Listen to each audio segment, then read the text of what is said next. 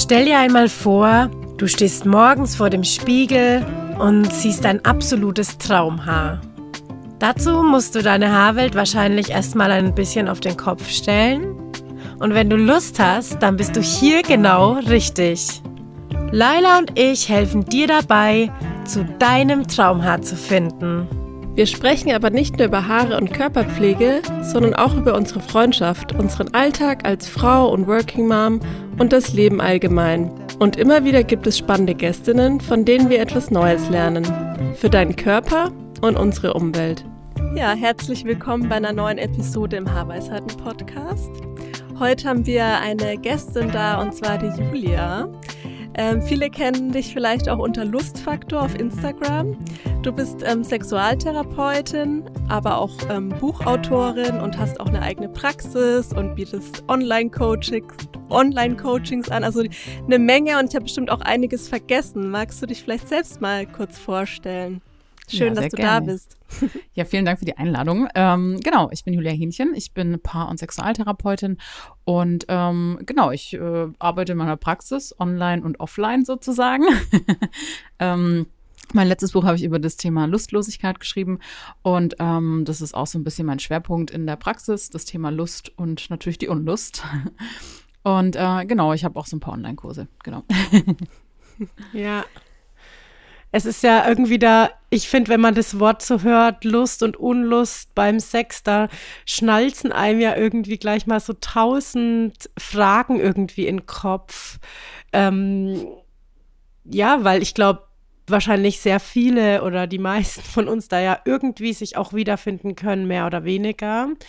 Und ich das echt ein sehr, sehr spannendes Thema finde, auch so Mutterschaft und so, ne? Das ist jetzt ja bei uns auch ein Thema, bei Laila und bei mir. Äh, wir sind ja beide Mütter und ich finde, da passiert ja dann auch immer so ganz, ganz viel. Aber mich würde es interessieren, wie du überhaupt, ähm, also vielleicht deinen Weg so ein bisschen bist dahin, wo du jetzt stehst, wo du bist, auch mit dem Schwerpunkt. Ähm, wie, wie hat es so begonnen? Wie kam es überhaupt dazu, dass du ja Sexualtherapeutin wurdest? Ähm, also bei mir war das so, dass ich im Studium, ich habe ähm, soziale Arbeit studiert mit dem Schwerpunkt dann ähm, später psychosoziale Beratung und Gesundheitsförderung. Und in meinem Bachelorstudiengang damals hatten wir so ähm, das Thema sexuelle Bildung, ne? Also das ist ja auch ein Arbeitsfeld einfach von SozialarbeiterInnen, ähm, die sexuelle Bildung, also so Pro Familia und so. Und da war jemand da von der Pro Familia und hat mit uns quasi so eine Stunde gemacht, so eine Einheit, wie man es auch mit Jugendlichen machen würde. Und ja, das fand ich irgendwie total spannend und es hat mich irgendwie auch interessiert und ich habe auch gemerkt, okay, also über Sexualität zu sprechen, das fällt mir jetzt nicht mega schwer. Also ich habe da auch einen ganz guten Zugang zu meinem Körper. Und dann ist das Thema aber erstmal auch wieder so ein bisschen zur Seite gerückt, sage ich jetzt mal, ja. Ähm, und ich habe mich dann erstmal auf mein Studium, habe das Studium beendet, habe auch ein paar andere Dinge erstmal gemacht, habe so in Wohngruppen gearbeitet und das Thema Sexualität kommt dann aber ja immer trotzdem wieder auf, wenn man mit Kinder, Jugendlichen oder auch mit jungen Erwachsenen arbeitet. Und ich habe dann nach meinem Master, was ich dann in psychosozialer Beratung gemacht habe, ähm, für mich war da klar, also ich habe da eine systemische Ausrichtung gehabt, ähm, dass ich halt die systemische Therapieausbildung gerne noch anschließen möchte. Das ist ja so ein, ich sage jetzt mal auch wieder so ein relativ klassischer Weg von vielen SozialarbeiterInnen, ne, dass man dann noch so in die systemische Therapie geht, wenn man in die Beratung gehen möchte oder dann eben Kinder- und JugendpsychotherapeutInnen. Aber für mich war klar, ich möchte lieber mit Erwachsenen arbeiten. Und, ähm, und dann parallel da dazu habe ich bei der Pro Familie angefangen in der sexuellen Bildung. Und da habe ich dann nochmal gemerkt, hey, das Thema, das liegt mir total, es macht mir voll mega Spaß. Und dann habe ich mich ähm, relativ spontan eigentlich dafür entschieden, die Sexualtherapie noch parallel zu machen zu der systemischen Therapieausbildung. Und ähm, so bin ich dann in die in die Sexualität quasi reingekommen. Und dann kam natürlich das Thema Paare und so weiter und so fort. Also ich habe mich dann relativ schnell eigentlich auf das Thema Paare und Sexualität spezialisiert und ähm, habe dann, also viele Kolleginnen sind dann vielleicht eher noch in das Thema Depressionen gegangen oder ne, Burnout oder ne, die anderen Themen eben. Und für mich war dann halt das Thema Sexualität spannend und habe dann meine Kurse eben demnach ausgerichtet.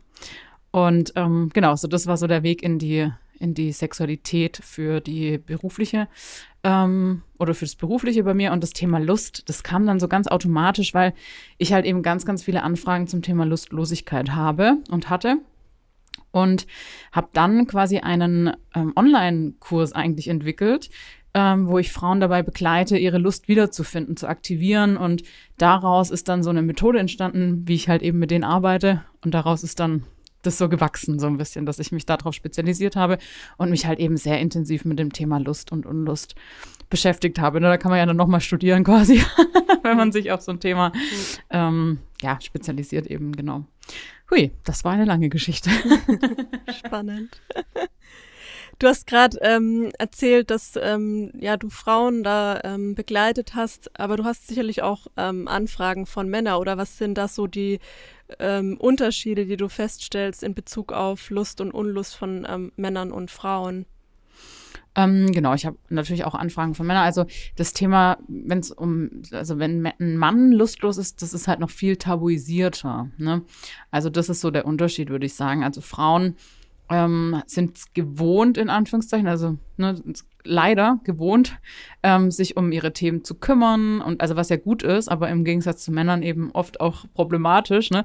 Ähm, und ne, da ist ein Problem und jetzt lösen wir das, jetzt gehen wir das an, ne, jetzt hole ich mir Hilfe und so weiter und so fort.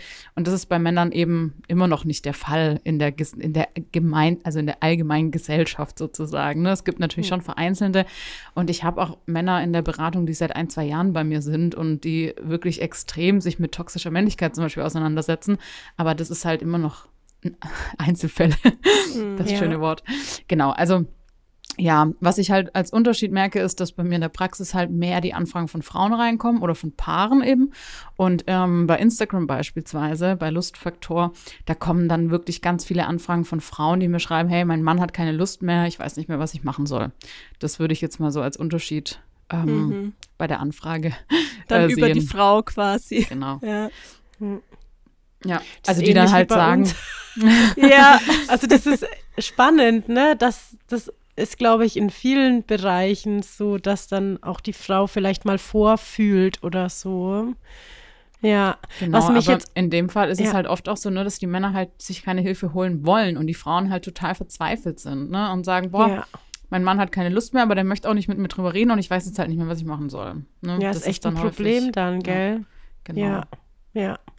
Ähm, wie ist es bei gleichgeschlechtlichen Beziehungen? Also hast du da auch also könntest du sagen, so, hey, das ist eigentlich, es spielt eigentlich gar keine Rolle, welche Sexualität man lebt. Es geht wirklich immer ums Individuum oder stellt man da auch irgendwie Unterschiede fest? Mhm. Dass da mehr gesprochen wird oder dass es da vielleicht gar nicht so zu so viel Unlust kommt oder Hast also du da auch immer, Erfahrungen? Ja, also es hat immer was mit der Sozialisation zu tun und eigentlich nie mit dem Geschlecht. Ne? Also auch hm. eine Frau kann sehr männlich sozialisiert worden sein, also aus dieser Sicht. Ähm, genau, also ich mache da Unterschiede in der Sozialisierung und nicht im Geschlecht. Also ähm, ne, Frauen lernen halt anders die Themen anzugehen wie Männer. Männer haben halt vielleicht dann auch das Männlichkeitsideal, diese Vorstellung. Also da kommen halt viele so strukturelle und ähm, gesellschaftliche Themen mit rein, aber das biologische Geschlecht ist am Ende des Tages, was das angeht, wurscht. Mhm. Ja.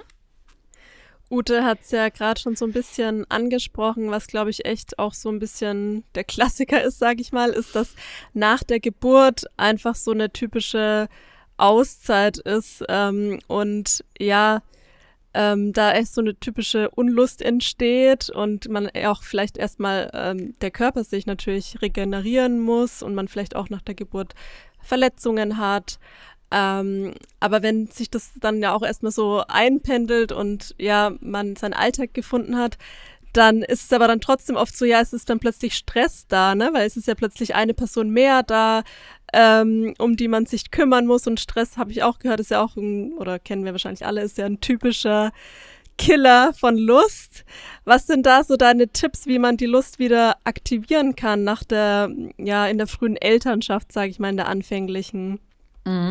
Also da kommen natürlich ein paar Dinge zusammen. Es gibt jetzt nicht, also ich finde es immer schwierig zu sagen, ne, mach das und dann verändert sich alles, mhm. so, sondern es ist halt immer ein Zusammenspiel aus mehreren Dingen. Also das Allerwichtigste ist erstmal, dass man generell sagt, okay, ich möchte was, möchte was verändern. Ne? Also so wie es jetzt gerade ist, ist nicht optimal. Ähm, wir haben die Muse als Paar auch zu sagen, äh, okay, wir wollen was verändern. Das bedeutet aber auch, dass wir uns damit halt auseinandersetzen müssen das ist so das erste Wichtige, weil wenn das nicht passiert, dann kann, also ich kann mir halt ganz viele Podcasts anhören, ich kann mir ganz viele Bücher durchlesen, ich kann mir ähm, Serien anschauen, aber wenn ich es halt nicht umsetze, wird sich halt auch nichts verändern. Ne? Das ist halt so das Allerwichtigste. Aber wenn man sich dafür entscheidet zu sagen, okay, ich, wir möchten was verändern, und ähm, wir sind auch ready, ja, und bereit und haben auch da ähm, ja den Mut, dann ist aus meiner Erfahrung so, dass man auch wirklich was verändern kann. Das ist, glaube ich, schon mal das Wichtigste. Also, dass man auch akzeptiert, es gibt eine Lösung. Ne? Also nicht, dass man von vornherein sagt, oh, das ist alles so verzwickt, das wird nie wieder was. So, ja. Ich glaube, das sind so die wichtigsten Grundvoraussetzungen erstmal. Und dann ist es wirklich eine individuelle Frage. Ne? Was für Ressourcen haben wir in der Familie? Wie können wir Dinge umleiten? Was können wir uns hinzuholen? Gibt es Großeltern, die wir einspannen können? Gibt es eine Tagesmutter? Gibt es Kinderbetreuung in irgendeiner Form? Ähm, können wir uns Paarzeit einräumen wo es dann nicht um Sex unbedingt gehen muss, sondern erstmal auch um, um Paarzeit. Ne, also das, da, da ist es dann ein bisschen individuell. Und ansonsten, wenn es dann um das Thema Sex und Lust geht, ne, da habe ich dann ja in meinem Buch zum Beispiel ja so eine, so eine Methode ähm, mir ausgedacht, wie man vorangeht. Aber auch das ist natürlich ein bisschen individuell. Ne? Das muss dann jedes Paar für sich halt auch nochmal gucken. Ist das der Punkt überhaupt? Also zum Beispiel ein Punkt ist auch zu verstehen, was habe ich denn für eine Lust? Was ist meine Lust? Auf was habe ich Lust und auf was nicht? Ja. Hm. Und das ist natürlich auch etwas, da muss man sich halt mit, mit sich auch auseinandersetzen. Und Sexualität oder sich mit der Sexualität auseinanderzusetzen, bedeutet eben auch immer ein Stück weit Persönlichkeitsentwicklung. Und das ist halt schon auch manchmal anstrengend, ja. Mhm. Und ähm, genau, also es braucht halt ein bisschen Zeit und Raum dafür. Und, ähm, und dann finde ich wichtig, dass man halt auch überlegt, okay, welche Unterstützung brauchen wir dafür? Ja, wenn man jetzt sagt als Paar, okay, boah, ey, wir wissen gar nicht, wo wir anfangen sollen, dann wirklich auch mal einfach eine Sexualberatung machen. Ne? Also, dass man dann halt auch sagt, okay, welche Unterstützung brauchen wir jetzt? Für manche Paare reicht es, ein Buch zu lesen, für manche Paare eben nicht. Und dann muss man da schauen, was passt. So. Ja. Ja, ja ich, ich finde es ähm, echt total spannend, weil also ich kann jetzt ja nur von mir sprechen, aber bei mir war das schon so, dass halt durch die Schwangerschaft und Geburt und alles, was so danach kam, also mein Kind ist jetzt viereinhalb, ähm, bin ich jetzt auch an dem Punkt, wo ich mich eigentlich das erste Mal in meinem Leben, und ich bin jetzt fast 37, auch so richtig frage, was ist, also wie du vorhin auch gesagt hast, so was gibt mir eigentlich Lust, was also was ist überhaupt meine Form der Sexualität? Wie sieht eigentlich die Beziehung aus, die ich führen möchte? So also mal voll weg von diesen ganzen gesellschaftlichen Formen zu gehen, um erstmal wirklich so irgendwo auch in so eine neutrale ähm, Ebene zu kommen und erstmal zu sagen, okay, was gibt's überhaupt alles oder weil das finde ich schon immer krass, wenn man sich da so drüber Gedanken macht, dass wir, wir das einfach gar nicht lernen alles. So, also ähm, wie wahrscheinlich vielen, die uns jetzt zuhören, ging es wahrscheinlich ähnlich. So, also Aufklärung in einem schwierigen Alter oder gar nicht und dann halt einfach irgendwie von Fernseh und Co. sich die, die Informationen geholt, die aber halt ja oft mit dem eigentlichen, mit der, mit der eigenen und eigentlichen Sexualität gar nicht so viel zu tun haben. Und wenn man dann, glaube ich, in so einer Unlust steckt, ähm, dann muss man ja echt irgendwie bei Null anfangen, so. Und dann kommen ja natürlich auch so viele Erfahrungen mit rein, die man halt dann aber als jugendliche, junge Frau, vielleicht auch junge Mutter erlebt hat, ähm, die man dann ja auch irgendwo erstmal ein bisschen aufarbeiten, aufräumen darf. Und ich, also, ich glaube, da jemanden an der Seite zu haben, das ist wirklich ähm, großartig. Also, ob das dann Freunde sind, mit denen man sich gut darüber austauschen kann oder eben Partner, Partnerin oder halt dann wirklich jemand von außen, dass man da so ein bisschen auch die Führung bekommt, weil das ja ein Riesenthema ist. Ja, ja.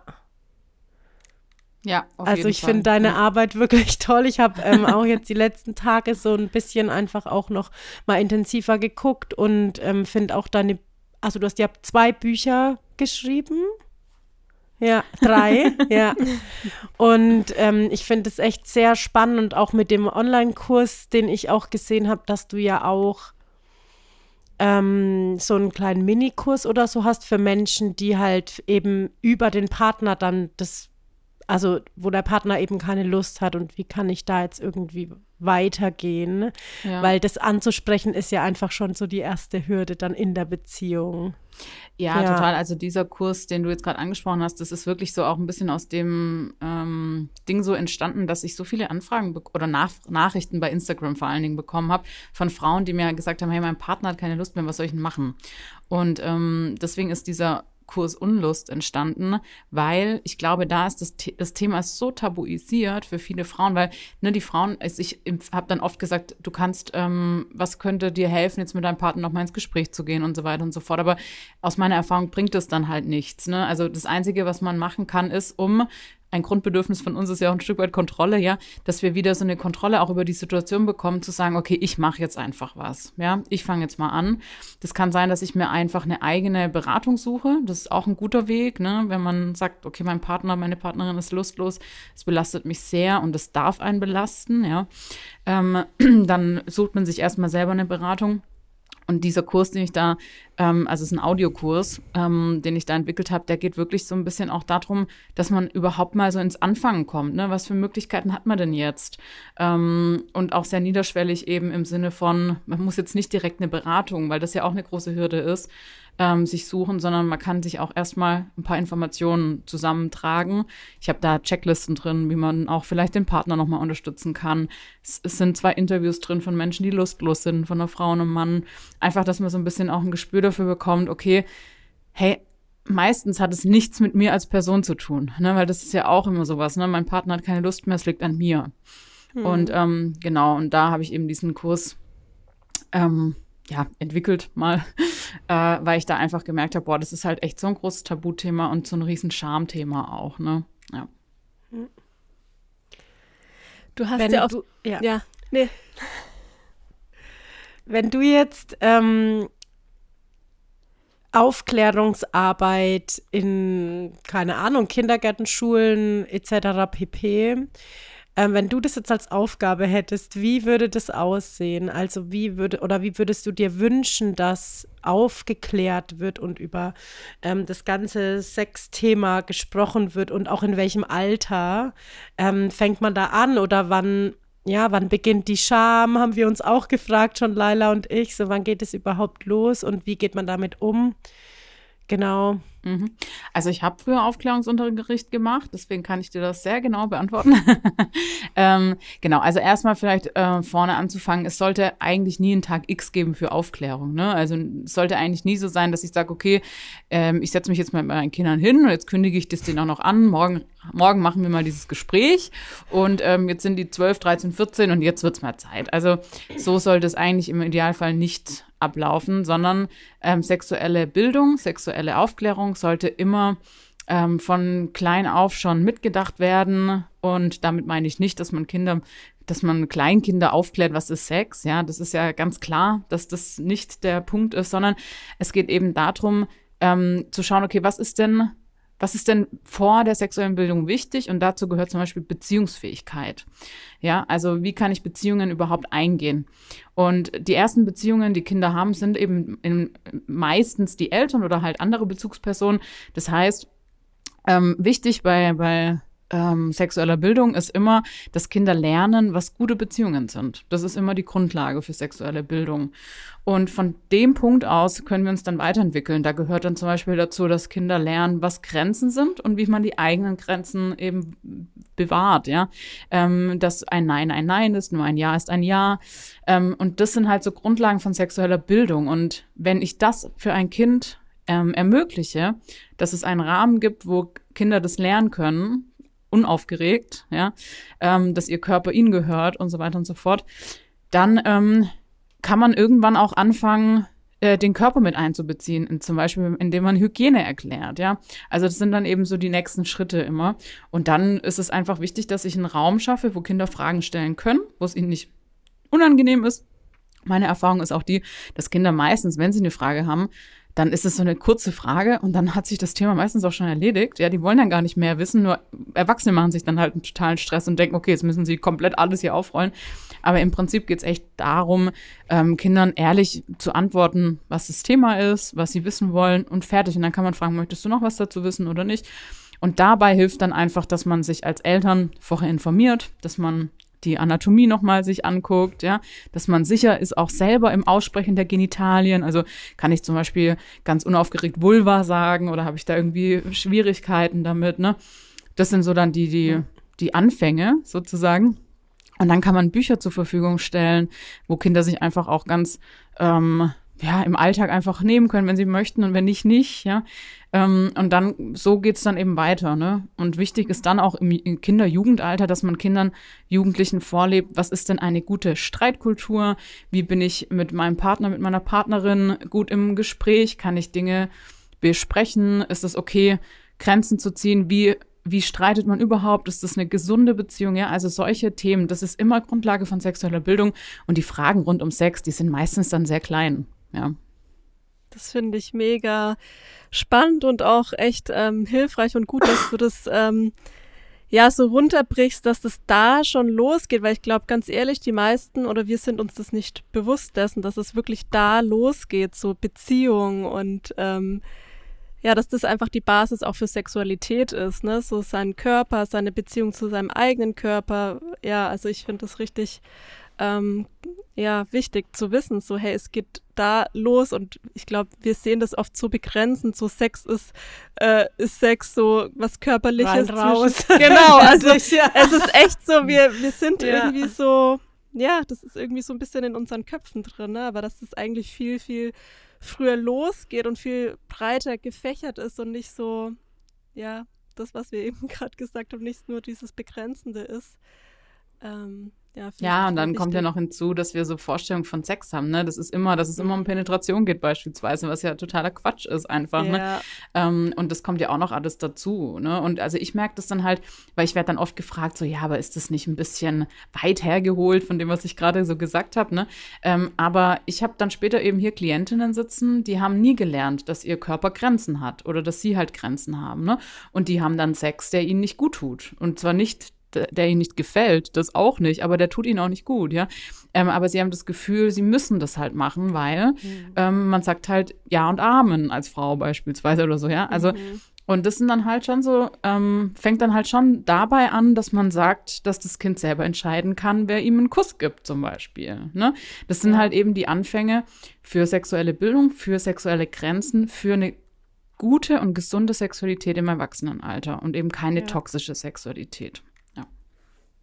Ja, das ist krass. Also ich finde, da sieht man dann aber auch, wo man einfach gesellschaftlich da noch steht und viel zu tun hat, weil wenn man so agiert mm, und seinem Kind einfach von klein auf irgendwo zeigt, so hey, du hast Grenzen oder das ist, du darfst es selber entscheiden und da sagen wir jetzt auch, also da, da ist so ein Stopp, so nur wenn du das möchtest, wie viel Entsetzen da oft von der anderen Seite dann halt kommt, ne, weil halt wirklich einfach der größte Teil der Gesellschaft noch gar nicht da irgendwo angekommen ist. Und das, also ich finde, das ist auch echt teilweise beängstigend.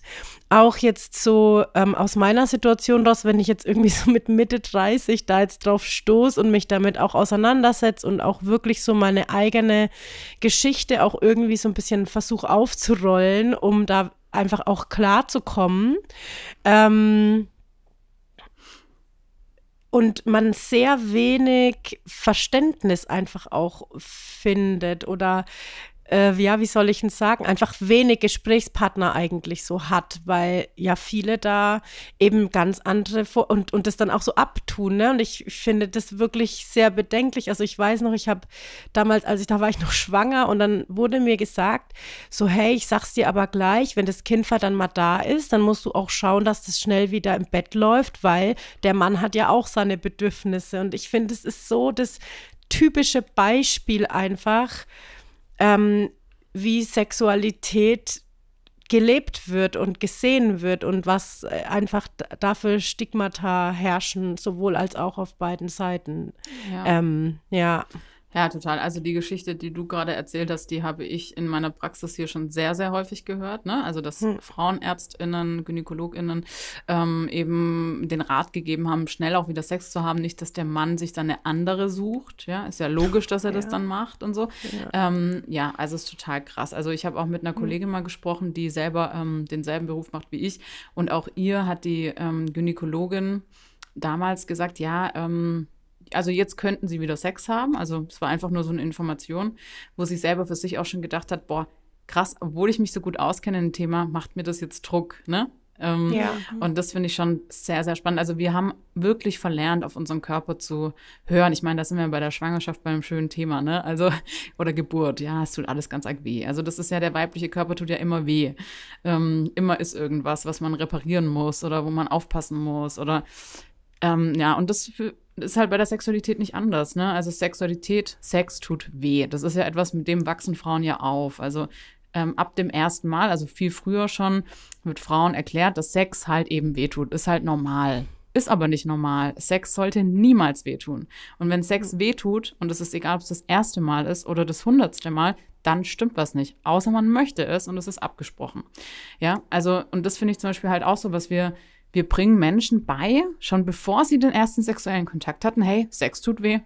Und das ist einfach Quatsch, ja. Und mhm. da fängt es halt schon an. Und ähm, ich mache die Erfahrung halt einmal mit Schulklassen, was ich jetzt nicht mehr mache, einfach weil ich selbstständig bin und Schulen sich dann eben, äh, ja, das halt nicht leisten können, Punkt, ja.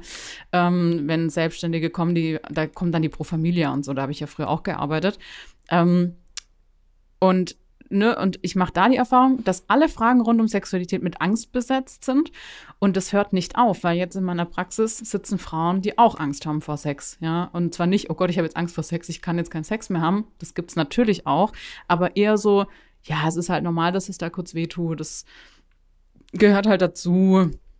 Ja, ich fühle mich da unwohl in der Position und so weiter und so fort. Ne? Das sind lauter so Dinge, was halt mit Unwohlsein zu tun hat, was mit Schmerzen, mit unangenehmen Gefühlen zu tun hat. Und wie soll man da Lust empfinden? Ja, wenn mein Körper voller Schmerz ist, jetzt mal ganz krass ausgesprochen.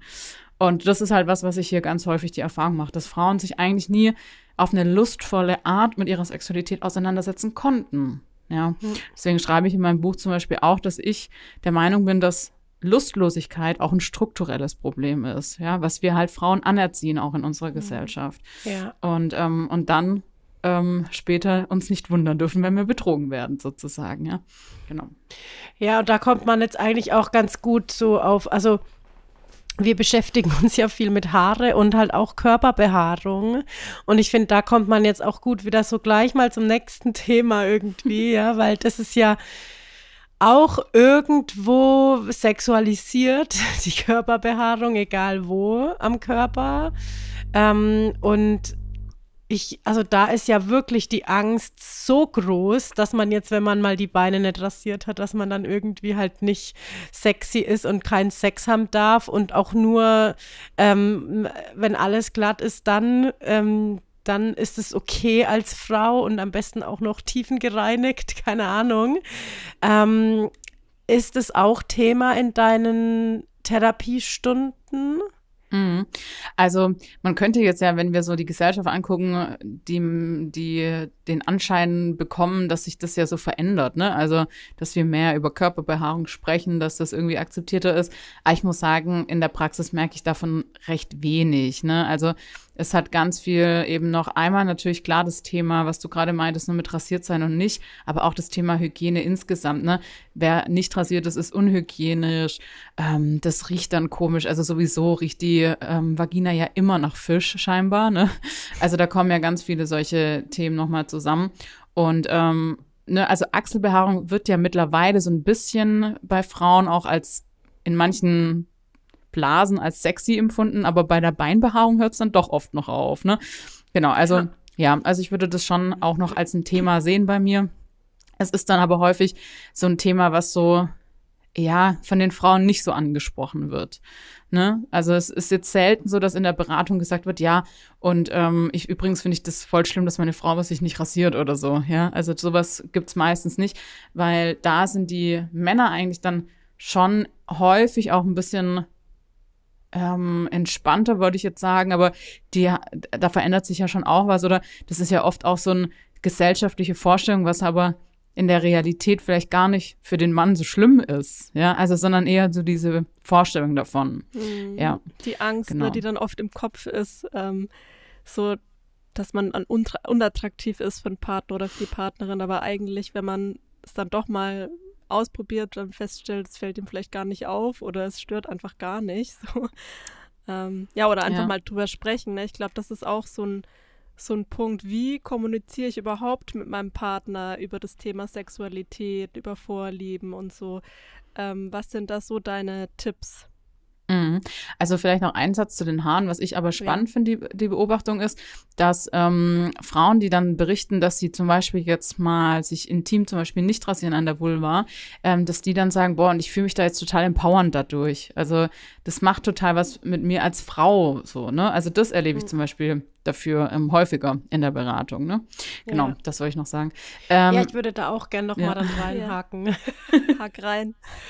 ja, ähm, Hygiene, auch das nochmal anzusprechen. Und auch mit Intimbehaarung die Hygiene.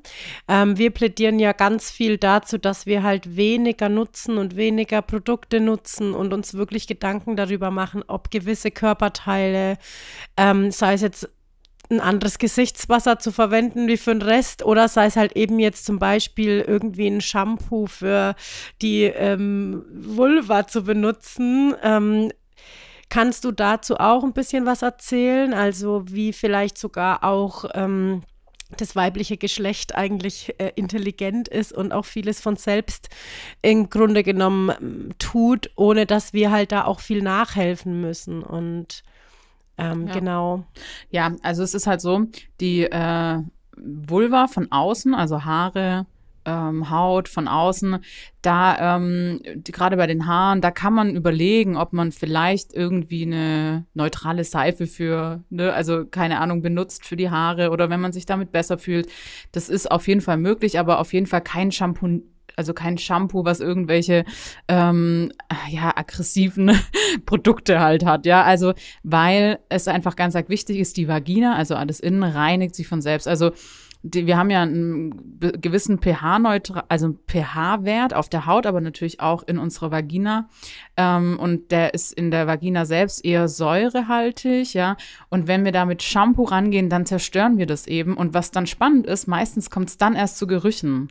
Ne? Also durch diese Veränderung. Und dann ist halt so der Reflex von vielen, sich noch mehr zu waschen, ja, ähm, weil es äh, unangenehm riecht und dann verändert man noch mehr, noch mehr.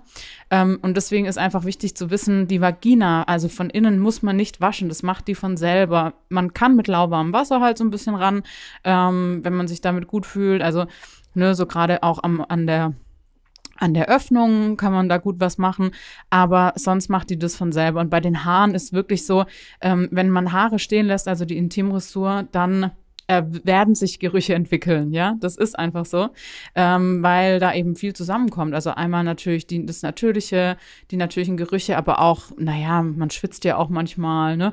Also da passiert einfach was, es entwickelt sich ein Geruch. Manche finden, das riecht super toll und fühlt sich gut an. Andere, andere sagen, boah, das ist ein bisschen süßlich, boah, nee, ist jetzt nicht so gut. Da kann man wirklich mit so einer pH-neutralen Seife ran, ja. Aber ja. also da gibt's wirklich ja, wisst ihr, kennt ihr euch besser aus. Ähm, ja, also ich würde einfach immer auf ein Produkt zurückgreifen, was pH-neutral ist, was keine Shampoo, also kein so ein so Inhaltsstoffe, die irgendwie angreifend ist und bei der Vagina selber wirklich nur Wasser nutzen, ja. Ja, ja, vielleicht auch darauf achten ähm, und jedes Mal vor dem Reinigungsprozess wirklich auch darauf achten, wie sieht's gerade aus? Brauche ich was oder brauche ich vielleicht gar nichts, weil ich, weil ja auch der Geruch sich über den Zyklus zum Beispiel verändert, Total. ja. Und vielleicht ist es auch dann heute, wenn ich abends jetzt in die Dusche gehe, wo ich sage so, ey, da reicht mir jetzt Wasser völlig aus und ja. dann bist du halt irgendwie ja Tage oder kurz davor oder so und dann merkt man halt so, oh, irgendwie, es riecht komisch, keine Ahnung, kommt ja auch vor, dass man dann eben halt wirklich auch da immer individuell entscheidet. Ich glaube, das ist halt auch immer ganz gut, ne? Weil oft ist ja dann so, dass wir in so eine Routine kommen und die dann einfach immer so machen, ohne halt uns Gedanken drüber zu machen. Ja ob man es jetzt wirklich immer braucht, weil man kann ja dann, ich meine, das ist ja auch eine empfindliche Körperstelle, ja, und mit auch Schleimhäute und so weiter. Ähm, ich glaube, da fährt man halt auf jeden Fall gut, wenn man sich wirklich immer bewusst für was dann entscheidet, wenn es wirklich eben sein muss. Ja, also ich ja. würde, was die, was äh, Vulva, wie gesagt, ne, dann da kann man sich drüber unterhalten und wie du sagst, ne, darauf achten, ist es gerade nötig, brauche ich es überhaupt? In der Regel reicht einfach Wasser generell, muss man einfach sagen. Ne? Also lauwarmes ja. Wasser ist da die beste, ähm, ja, das beste Mittel sozusagen, auf was man zurückgreifen ja. kann. ja. ja. Laili, du hattest vorhin, glaube ich, noch eine Frage. Ja, ich weiß gar nicht mehr, was ich fragen wollte, aber ich, mir fällt jetzt eine andere Frage dafür ein. Und zwar, was sind denn so deine Top-Mythen, ähm, ja, die dir so begegnen über das Thema Sexualität? Oh, da gibt es einige. Also wir fangen mal an mit dem Mythos Jungfernhäutchen, ne, dass es ein Jungfernhäutchen gibt, wo man ganz klar sagen kann, nein, gibt es nicht. Es gibt kein Jungfernhäutchen. Es gibt eben die vaginale Corona, die auch nicht bei allen Menschen um den Vaginal, um die Vaginalöffnung liegt. Ähm, aber in der Regel ist es so, dass das mit wächst. Ne? Also ähm, es gibt eben diese, man kann sich das wie so ein Haargummi, so ein Squash-Haargummi vorstellen, was eben um die mh, mm, Öffnung der Vagina liegt, ähm, also im Inneren. Und ähm, das dehnt sich aber eigentlich in der Regel mit, wenn man wächst, ja. Also auch wenn man Tampon nutzt oder auch bei einer vaginalen Geburt. Bei vielen Menschen dehnt sich das auch da einfach mit und sieht danach genauso aus wie vorher. Und wenn sich das verletzt, dann heilt es wieder und sieht danach auch so aus wie vorher. Ne? Also wie halt auch eine Wunde am Körper heilt, ja. Ähm, genau, also die Vorstellung ist ja häufig, dass da irgendwie so eine Frischhaltefolie mäßig ist, ne? Und dann wird es zerstochen und dann ähm, ist man keine Jungfrau mehr. Und das ist halt totaler Quatsch. Also, das ist wirklich nur ein Mythos, um Frauen auf der ganzen Welt zu kontrollieren. Äh, das ja. dient für nichts anderes, ne? Und ähm, genau, also manche Menschen werden nicht mal mit einer vaginalen Corona geboren. Bei manchen verändert sich das nie im Leben. Und bei anderen kann sein, dass sich das durch bestimmte Tätigkeiten und es muss kein Penetrationssex sein, dass da einfach sich, ähm, ne, ja, dass da halt eine Wunde entsteht. Ne? Also das passiert meistens dann, wenn, ähm, wenn die Vagina zu trocken ist, also wenn zu wenig Feuchtigkeit da ist, weil Reibung eben auch Verletzungen hervorbringen können. Ne? Also mit Jugendlichen mache ich immer ganz gern die Übung, dass man den einen Finger mit dem anderen, mit der Hand so mal umfasst und so ganz, äh, ja, feste halt so versucht das zu umfassen und der Finger will raus. Ja. Und dann merkt man schon, oh, das fühlt sich irgendwie nicht so super unangenehm äh, an. Ja, aber die Vorstellung, wenn jetzt da zum Beispiel Kleidgel dabei wäre, würde man ja einfach so rausflutschen. Und da ist es halt beim, bei der Penetration oder auch bei anderen Dingen genauso, ne? Und wenn ich da halt eben nicht genug Feuchtigkeit habe und gerade bei den ersten Malen Sex kann das sehr gut sein, dass man nicht genug feucht ist, ja? Einfach wenn man aufgeregt ist oder so, ja, oder wenn man vielleicht auch ein bisschen Sorge hat oder oder, oder, oder. Und dann kann es eben sehr leicht zu Verletzungen kommen, die natürlich auch mal bluten können. Ja, klar, eine Wunde blutet.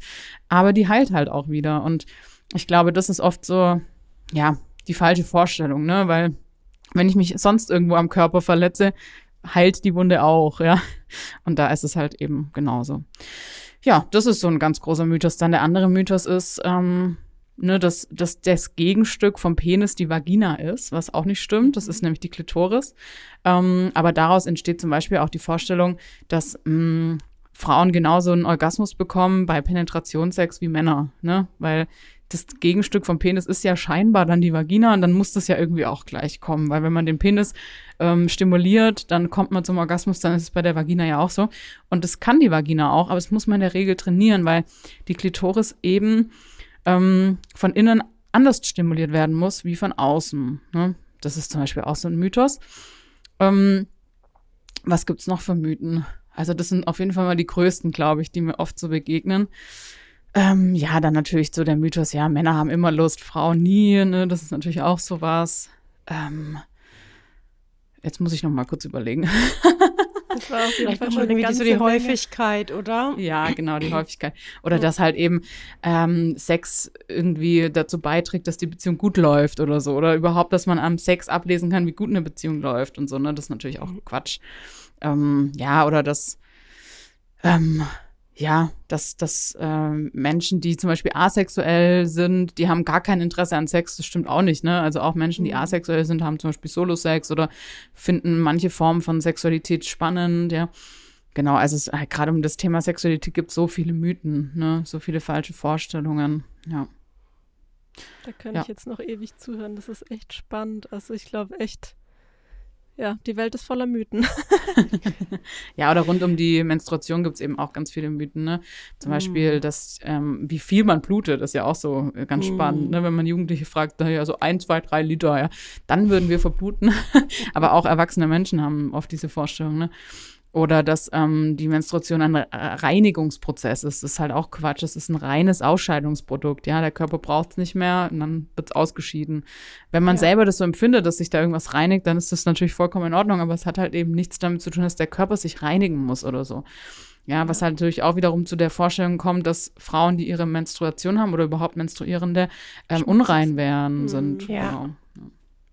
Ja, das ist ja auch eigentlich ein Thema, das da echt nochmal mit rein gehört auch. Also das finde ich auch so spannend. Also da, da haben wir, glaube ich, auch die letzten Jahre so viel darüber gelernt. Also ja, ich glaube, man fängt so an einer Körperstelle an, irgendwie mal zu hinterfragen und halt mal irgendwie vielleicht auch wirklich zu gucken, was ist jetzt der eigentliche Grund, warum unser Körper das tut.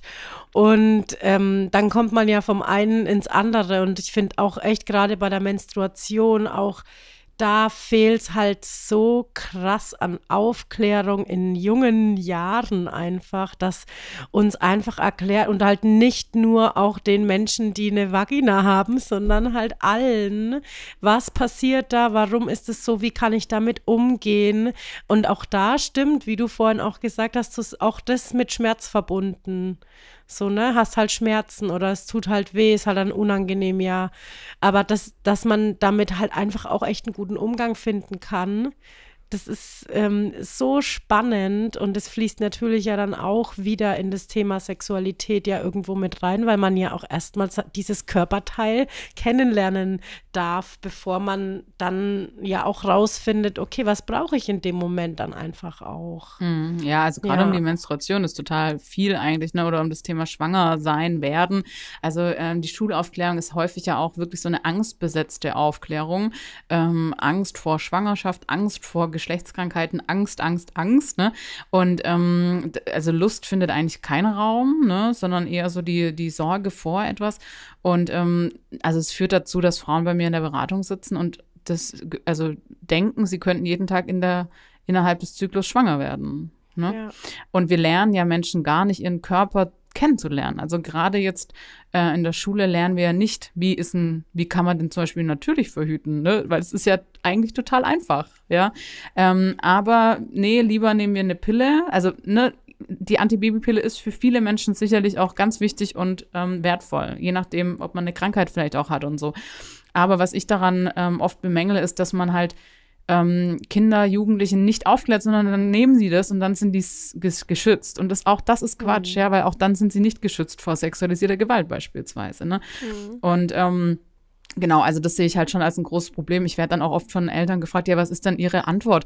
Ähm, sollen wir dann den Kindern keine Antibabypille äh, verschreiben? Da habe ich gesagt, naja, das muss ja die, die, das, die Jugendliche selber entscheiden, ne, was sie mit ihrem Körper machen möchte.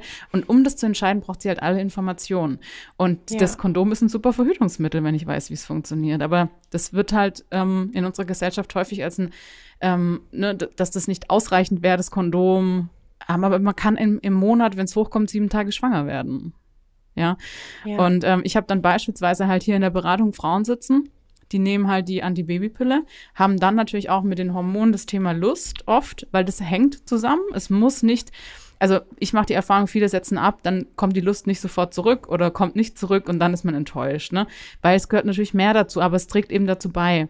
Und ähm, die nehmen dann seit Jahren die Antibabypille, haben aber jetzt seit drei, vier Monaten keinen Sex mehr. Aber die Antibabypille absetzen ist irgendwie nicht so im, ähm, also da hat man Angst davor, ne, die abzusetzen, obwohl man gar keinen Sex hat. Also es ist total spannend, was da passiert. Ne? Also da braucht es eigentlich noch viel, viel mehr Aufklärung auch über den Körper und wie kann ich meinen Körper lesen, weil unser Körper, der gibt uns eigentlich alle Signale, die wir brauchen, wenn wir drauf achten. Ja. Halt. ja. Also ich habe irgendwann mal, das ist jetzt echt schon lange her, habe ich eben die NFP, ist mhm. die Abkürzung, gell? Ich kann es aber nicht aussprechen. Natürlich die Familienplanung einfach. Ah, okay. Ah, okay. das ist doch ganz einfach. wow, okay, ich dachte, das ist äh, bestimmt irgendwie einen anderen äh, Hintergrund. ähm, ich finde, das ist so krass, dass ich habe das nicht geglaubt am Anfang, was einfach unser Körper uns alles sagt über mhm. die ähm, Temperatur, über den Zervixschleim, dann, dass du einfach auch fühlst, ähm, in dich reinfühlst und fühlst, okay, was ist da los? Wo liegt eigentlich ähm, jetzt gerade äh, der Muttermund? Den kannst du ertasten und so und das dann auf, also ich habe das auch aufgeschrieben, ich, ich wollte halt so verhüten, ne? also mir ging es gar nicht um, ähm, wie kann ich schwanger werden, sondern mir wurde irgendwann mal dieses äh, PCO-Syndrom diagnostiziert und ich dachte dann einfach so, okay, das kann es irgendwie nicht sein. Ich hatte dann ganz viele Probleme mit dem Zyklus, auch immer ewig lange Zyklen, wusste nicht und so weiter und so fort. Und dann habe ich das ausprobiert und mich hat es richtig echt vom Sessel geschmissen, weil ich fand es so faszinierend, dass unser Körper uns einfach das aufzeigt. Du weißt genau, wann kommen jetzt die Tage auf den Tag. Du stehst früh mhm. auf und sagst, ah ja, okay, heute fange ich das Bluten an. Mhm. So, das ist so krass einfach. Oder, ja. ah ja, okay, jetzt kommt der Eisprung oder mhm. könnte jetzt heute sein. Ja. Und also das ja, was ich, ich finde, da das ist eigentlich ein Muss. Also ja, das sollte jede Schule, Frau tun, einfach um ihren Körper kennenzulernen. Ja, total. Was ich da krass finde, ist, also ich bin ein großer Fan von NFP, aber ich muss auch sagen, dass ich es eigentlich noch krasser finde, dass wir eigentlich den, das, also eigentlich haben wir alle verlernt, auf unseren Körper zu hören, weil beispielsweise ich spüre meinen Eisprung ganz genau. Ich weiß, wann mhm. was ist. Ich weiß auch, ob der rechts oder links ist, ja. Ähm, und wenn man das weiß, dann, dann kann man auch so super verhüten. Dann muss man gar nichts auf aufschreiben. Mhm. Ne? Also ja. wisst ihr, das geht ja. auch so. Und ähm, ich glaube, dass wir einfach das echt verlernt haben, vielen, ähm, überhaupt den Körper wahrzunehmen und zu spüren. Und das hat natürlich auch ganz viel was mit so ähm, Schönheitsidealen zu tun, dass man immer alles dafür tut, den Körper zu verändern, anstatt ihn so, wie er ist, zu akzeptieren oder so anzunehmen. Ne? Ähm, und dass wir ständig da noch abnehmen wollen, da noch was. Und beispielsweise, was ja so auch so ein Thema ist, so Saftkuren oder sowas. Das ist halt für ganz viele mhm. Frauen, ähm, gerade was den Hormonhaushalt angeht, total schlecht, ja. Also auch was so das alles angeht, was wir jetzt besprochen haben.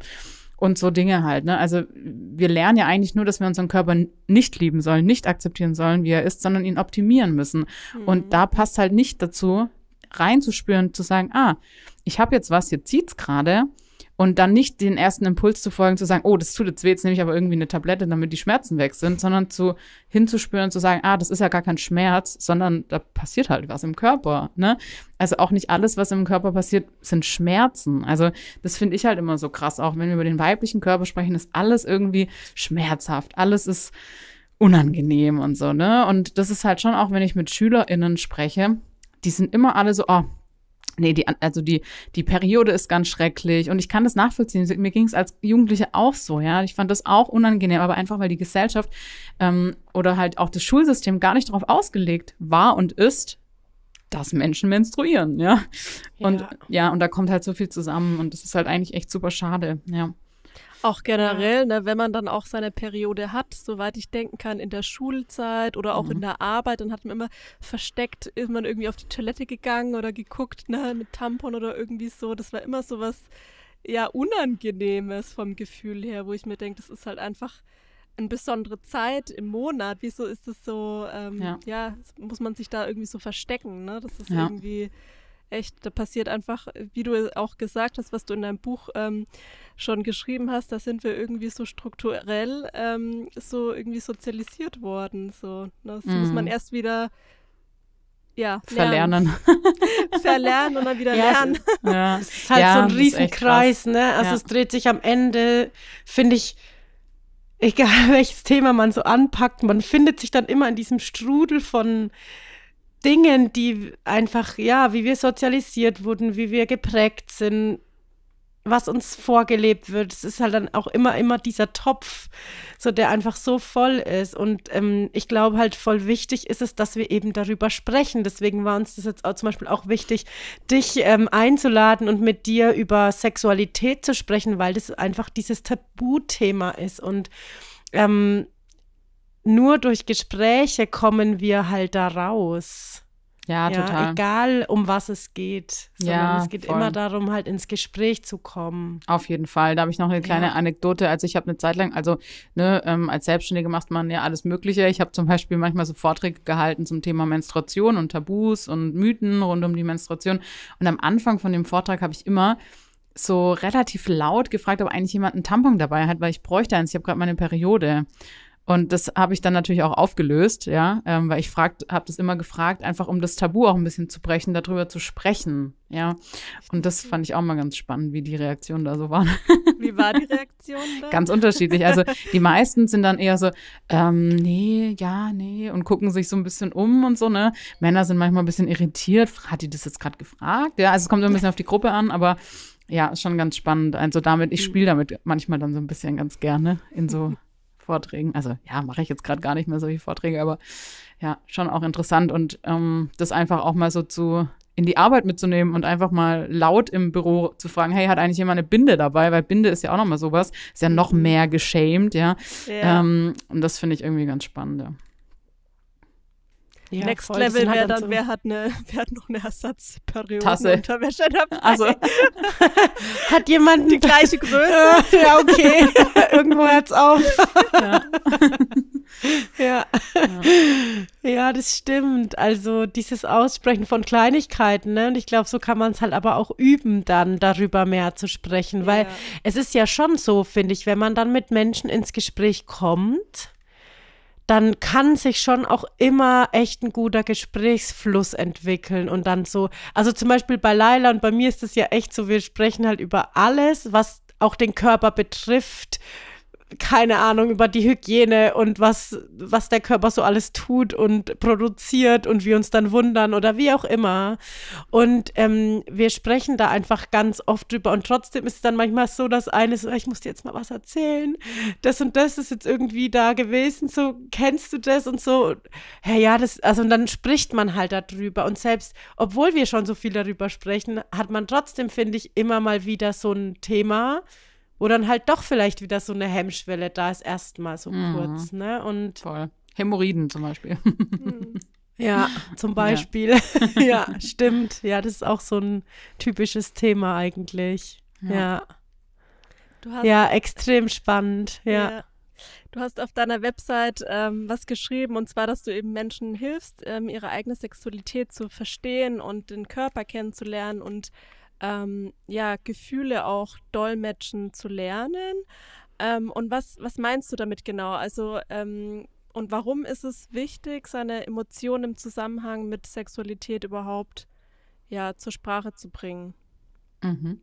Also, ähm, ich fange mal vorne an, äh, mit dem Verstehen. Also mir ist immer total wichtig, dass die KlientInnen, die zu mir kommen, halt selber auch verstehen, okay, warum habe ich denn zum Beispiel ein großes Bedürfnis nach Sexualität, ein ganz, ganz großes Bedürfnis nach Nähe und mein Partner hat das zum Beispiel nicht so stark, ähm, weil dann können wir aufbrechen dieses Ich bin normal und du nicht, ne? weil das ist halt häufig der Fall, dass Paare zu mir kommen und sagen, ich habe jetzt total viel Lust nach, äh, nach Sex und du gar nicht und gesellschaftlich ist es ja normal, Lust auf Sex zu haben, deswegen muss ja mit dir was nicht stimmen, so. Und deswegen ist halt wichtig, dass wir selber verstehen, okay, woher kommt denn dieses Bedürfnis nach viel Nähe und Sex beispielsweise? Und das kann halt zum Beispiel auch ein Bindungsthema sein, ne? dass man als Kind eben ähm, zum Beispiel keine Bindungsperson hatte oder eben ähm, schwierige Bindungserfahrungen gemacht hat oder eben sehr nahe Bindungserfahrungen gemacht hat und der Partner ist eben anders und hat andere Erfahrungen gemacht. Und da kommen jetzt halt zwei Typen aufeinander, die ähm, ja unterschiedliche Erfahrungen, unterschiedliche Bedürfnisse haben. Also das ist mir halt total wichtig, dass die Klienten dann selber verstehen, warum bin ich so, weil wenn ich das verstehe, dann kann ich es auch ändern. Also kann ich auch Dinge verändern oder halt auch überhaupt eine andere Haltung dazu entwickeln. Ne?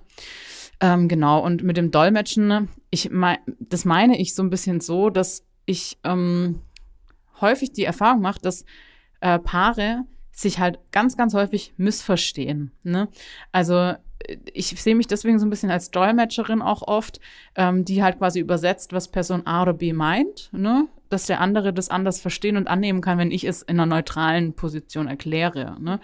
Weil dann fühl, fühlen beide sich eben gesehen und verstehen und merken, okay, wir sind beide gut so, wie wir sind. Wir haben nur eben dann Verständigungsproblem beispielsweise. Ne? Und deswegen ist es halt so wichtig, die eigene Emotion die eigenen Gefühle auch in Bezug auf Sexualität zu erkennen, zu kennen und zu verstehen und die deuten zu können und zu, ja, und zu verstehen, was man für Bedürfnisse hat. Also beispielsweise mache ich oft die Erfahrung, dass hier ein Paar sitzt, die Frau von sich selber sagt, oh, ich bin halt einfach so emotional, ich muss dauernd anfangen zu weinen und das ist total schlimm für mich und so und der Partner sagt, ja, das ist auch echt anstrengend und so. Ähm, sie, die ist da emotional gar nicht ausgeglichen und so und das ist ganz spannend, weil wenn ich einen guten Zugang zu meinen Gefühlen habe und viel weinen kann, dann habe ich eigentlich bin ich emotional habe ich einen guten Zugang, ne? Ähm, aber warum äh, ist es für ihn so schwierig, das zu ertragen beispielsweise? Ne? Das könnte dann eine spannende Frage sein. Oder was braucht die Frau, um zu erkennen, dass das keine Schwäche, sondern eine Stärke ist? Ne? Und das meine ich halt auch so ein bisschen, wenn ich das verstehe. Und beim Sex geht es eben auch ums Fühlen. Ne? Es geht ums Fühlen, ums Erfühlen, ja. ums Erspüren.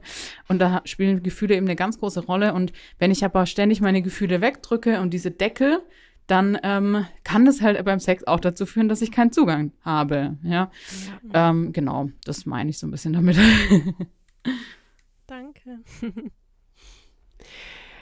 wenn uns jetzt hier jemand zugelauscht hat und sich denkt, hey, das ist auch echt ein Thema bei mir oder ich würde mich damit gern befassen, ähm, was ist die, deine Empfehlung? Dann erstmal dein Buch zu kaufen und sich dann erstmal einzulesen, um überhaupt erstmal so ein Basiswissen irgendwie sich zu erarbeiten und wirklich vielleicht sich auch schon mal so ein bisschen ja, zu strukturieren, um ja, sich besser irgendwie einschätzen zu können.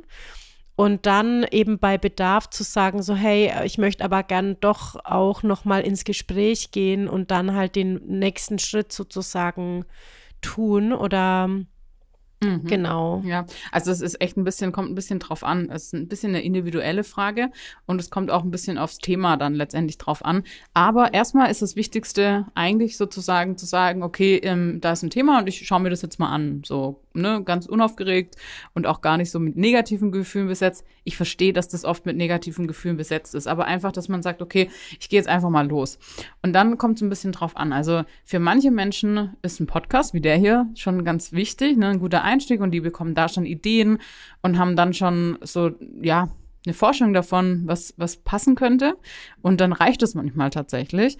Für andere braucht es ein bisschen mehr. Da könnte dann zum Beispiel ein Buch ganz hilfreich sein. Also bei meinem Buch ist so, dass es schon sehr praxisorientiert ist und sehr viele Übungen drin sind. Wenn man da drauf steht, dann könnte das zum Beispiel ein guter Anfang sein. Ne?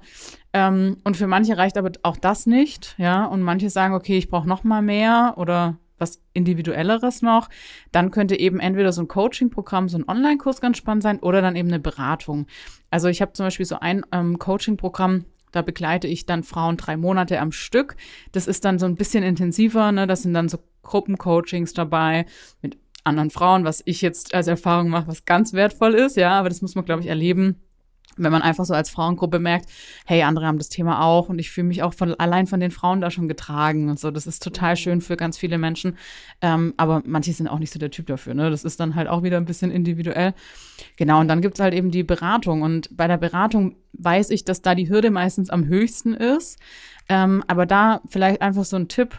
Also guckt einfach, wer oder ja, welche Beraterin, welcher Berater welchen, wen findet ihr sympathisch? Ne? Das ist einfach das erste Wichtige schon mal. Und wenn das passt, mhm.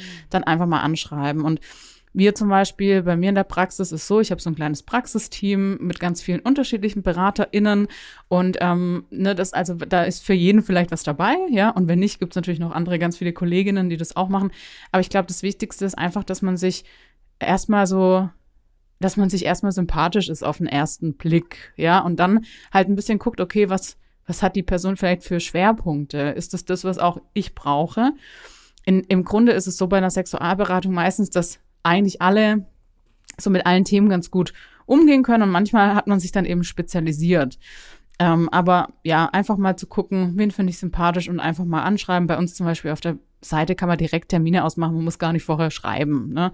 Ähm, genau, also ja, es ist ein bisschen individuell, deswegen würde ich jetzt nicht sagen, mach das, das, das, ähm, sondern guck einfach für dich, was passt, was ähm, so vom Gefühl her das Richtige ist. Und natürlich ist so ein Buch oder so ein guter Einstieg erstmal, um überhaupt sich mit dem Thema zu beschäftigen. Aber man muss vorher kein, kein Buch oder es braucht kein Vorwissen, um eine Beratung zu machen oder ein Coaching-Programm oder so, ne? Ja. Ja. Und wo kann man dich finden? ja, also ich bin natürlich bei Instagram aktiv ähm, unter Lustfaktor, aber einfach auf meiner Website ähm, julia-hähnchen.de. Da findet man mich. Vielen Schön. Dank, dass du ja, Einblick in deine Arbeit gegeben hast. Es war wirklich super, super spannend. Total spannend. Ja, ja, ich danke euch für die Einladung. Sehr spannend, ja. Sehr gerne. Sehr gerne. Danke dir. Danke euch. Ciao. Schönen Tag noch. Schön, vielen Dank. Wir hoffen, du hattest Spaß beim Hören der neuen Podcast-Folge und wie immer freuen wir uns über eine Bewertung auf Spotify oder auf iTunes und wir freuen uns auch immer wieder, wenn du unseren Podcast vielleicht jemandem empfiehlst, der ihn noch nicht kennt. Bis zum nächsten Mal, alles Liebe.